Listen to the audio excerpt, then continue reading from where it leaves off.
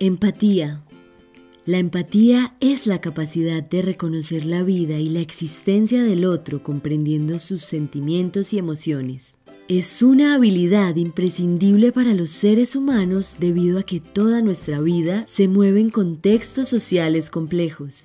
Por lo tanto, el reconocimiento y la comprensión de los estados mentales de los demás así como la capacidad de compartirlos y responder a ellos de modo adecuado, posibilita el surgimiento de la empatía. ¿Cómo potenciarla?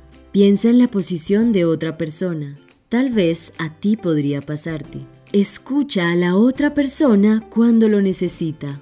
Conserva el autocontrol independientemente de la situación. Ayuda al otro siempre que esté en tus posibilidades.